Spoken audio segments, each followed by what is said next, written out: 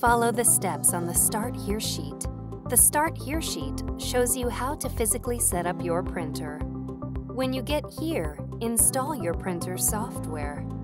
If you are using a Windows computer, insert the CD that came with your printer. If you are using a Mac or your computer does not have a CD or DVD drive, download and run the product's software package from the Epson support site. When you see this screen, click Install. Follow the on-screen instructions to install the software. This can take several minutes.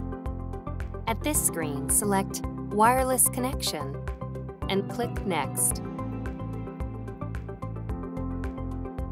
If you're using a Mac, you see this screen. Select Set up printer for the first time and click Continue. If the installer is able to detect your wireless settings, you see this screen. Select Yes and click Next, then follow the rest of the on-screen instructions. The installer will automatically connect the product to your network, and your setup is now complete. If the installer is unable to detect your wireless settings, you see this screen. Select Using Control Panel and click Next. You will need your wireless network's name and password in order to set up your printer. Click Next. When you see this screen, look at your printer's control panel.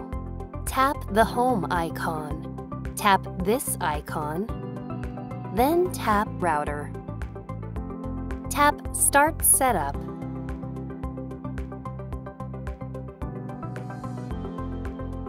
Then tap Wi-Fi Setup Wizard. Tap your network's name. Then tap the Enter Password field. Next, enter your wireless password. If your password contains upper or lowercase letters, be sure to enter them in the correct case.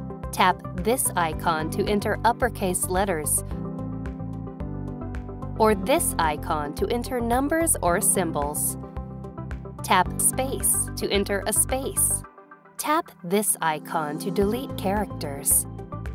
When you're done entering your password, tap OK.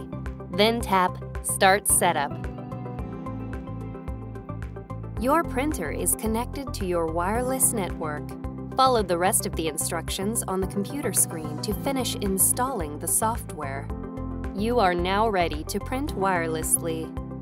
If you want to print from another Windows computer, insert the CD that came with your printer. If you are using a Mac or your computer does not have a CD or DVD drive, download and run the product's software package from the Epson support site. If you're using Windows, at this screen, select your printer from the list and click Next. If you're using a Mac, at this screen, select The printer is already on my wireless network and click Continue. Follow the rest of the instructions on the computer screen to install the software. You can repeat this process for additional computers. You are now ready to print wirelessly from your computers.